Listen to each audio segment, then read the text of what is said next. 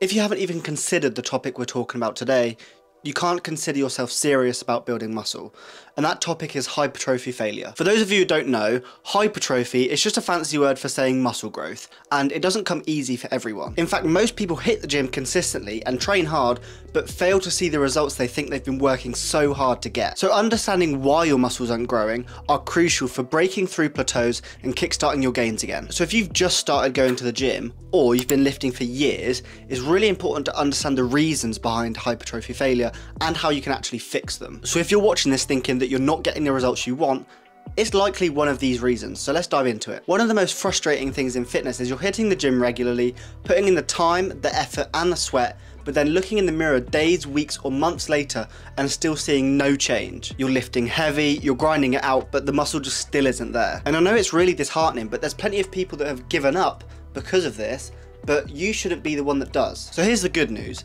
It's not necessarily about working harder, although that might be the case, it's generally about working smarter. If you're not seeing muscle growth, chances are you're making one or several of the most common mistakes people make when trying to build muscle. Because muscle growth is just as much about strategy as it is effort. So let's slide right into the 10 most common reasons your muscles aren't growing and how you can fix them. So let's start with number one, and that's lack of progressive overload. Because progressive overload are one of the key things when it comes to building muscle. So if you're lifting the same weight, doing the same sets and reps week after week, your muscles aren't going to get the stimulus that they really need to grow. So in order to fix this, you need to consistently challenge your muscles by increasing the weight, the reps, or the sets you're doing for your exercises. A study in 2016 by the main man, Dr. Brad Schoenfeld, showed that progressive overload is one of the key principles to maximizing a muscle hypertrophy. So moving on to the second mistake, it's not eating enough calories or protein. Muscle needs fuel to grow, so if you're not eating enough calories, especially protein, you're not giving the body what it needs to repair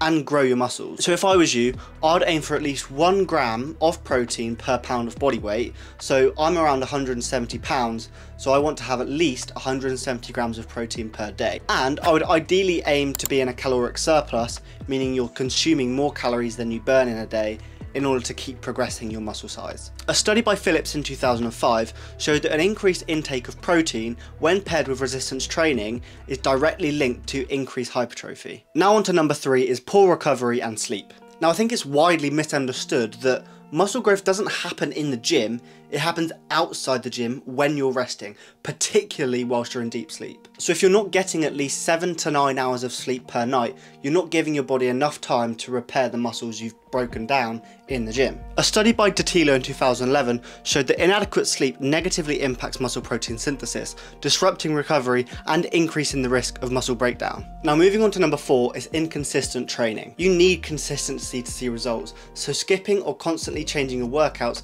is restricting your body from adapting and growing. So stick to a program and show up regularly because remember muscle growth is a marathon not a sprint. Now number 5, a slightly controversial one is too much cardio. So whilst cardio is obviously great for heart health and fat loss, too much cardio can interfere with your body's ability to build muscle. So excessive cardio can cause your body to go into a catabolic state, which is where it starts to use your muscle as energy. Number six is exercise selection. This is often something people don't think about at all, but it's seriously important. Picking exercises that are redundant, i.e. they target the same muscle in the same way throughout the whole session is a really big waste of time. When alternatively, you can choose exercises that vary the stimulus to the muscle during the workout, which will ultimately optimize your gains. And whilst compound movements are great, they aren't necessarily good for hypertrophy because they have minimal isolation of specific muscles.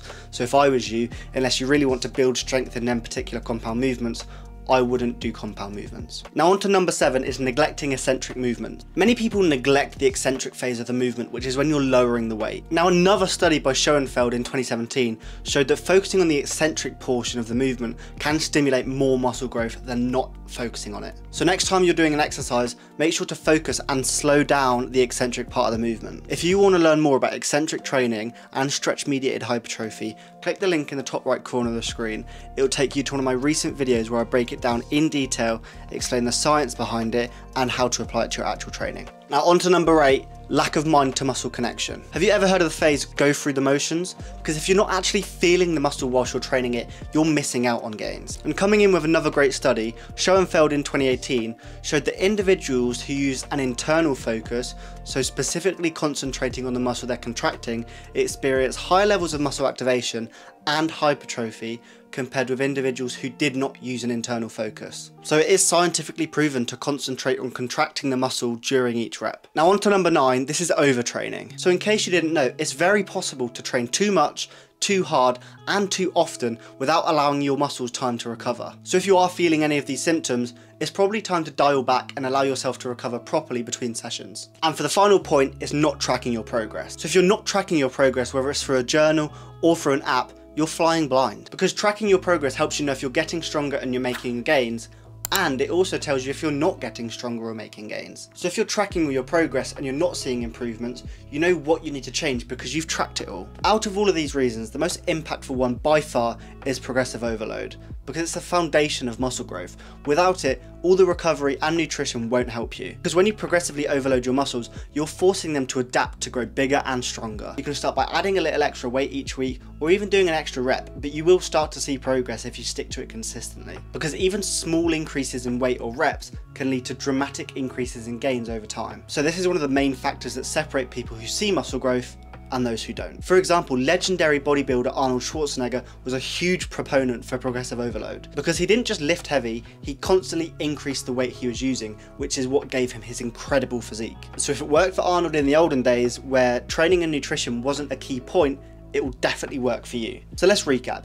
If your muscles aren't growing, it could be due to one or more of these 10 common mistakes people make. Not using progressive overload, not having enough calories or protein, poor recovery, inconsistent training, too much cardio, poor exercise selection, neglecting eccentric movements, lack of mind-muscle connection, overtraining, or not tracking your progress. So the key takeaway here should be that muscle growth requires a holistic approach. You need to combine proper training, nutrition, recovery and strategy to see the gains that you want. So now it's your turn. Have you struggled to see muscle growth or have you made any of these mistakes? Let me know in the comments. If you're looking for more tips on hypertrophy, be sure to hit the subscribe button. I post twice a week. One of them will be an in practice workout Wednesday video where you get to see my full workout whilst I break it down in between the exercises. Or if you want to see my other videos, which are my Saturday videos like these, it takes a more informational approach that are scientifically backed. If you like this video in particular, make sure you smash the thumbs up button and if you're not subscribed, hit the subscribe button and turn on post notifications so you get notified every time I post. That's all from me on this one and I'll catch you in the next video. Peace.